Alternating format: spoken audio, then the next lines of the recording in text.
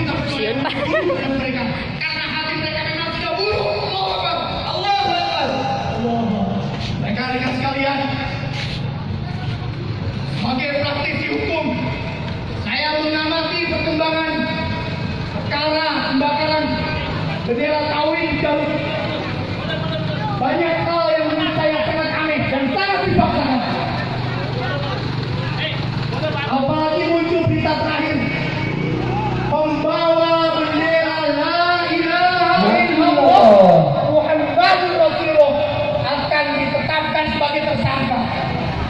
Harus. Dikenakan pasal 174 karena dia dianggap mengganggu demo yang sah.